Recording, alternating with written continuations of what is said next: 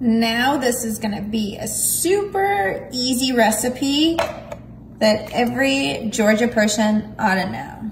So now that we've got our peaches in our pan, we're gonna come in with already pre-mixed, super moist white cake mix. We're gonna pour that on top of those peaches. This is gonna be so good. Oh my goodness, look at that. Mmm. These are like mini cake bites. This is a self-serving cake bite, yes.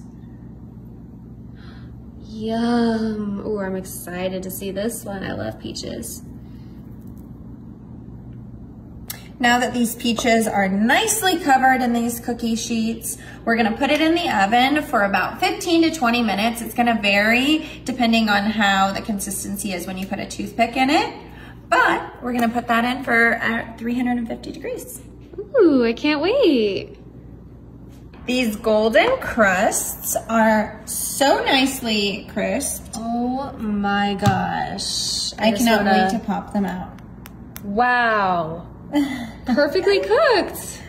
Okay, so now that we've got these done, we're gonna bring in a nice little plate and pop these cute little peach pies. Let me grab a good grip and flip them over. They're like upside down cakes. They are upside down peach cakes. No way. Oh There's another one. Gosh, that looks so, so scrumptious.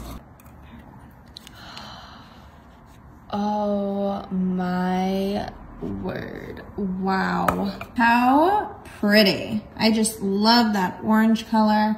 Such a good contrast. Speaking of orange, let's add some caramel. Mmm, yum. Starting here. Gonna do a nice, easy drizzle.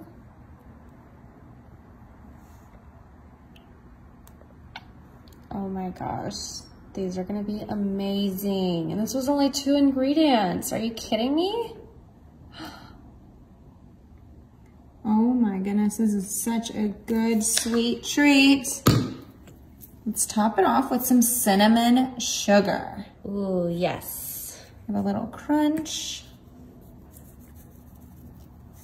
Oh my God. These really look like little pies.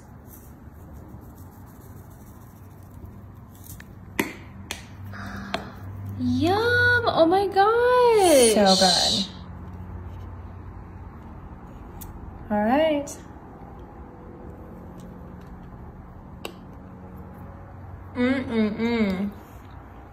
Look at that peach. Amazing. Is it good? So good. Yum. Highly recommend.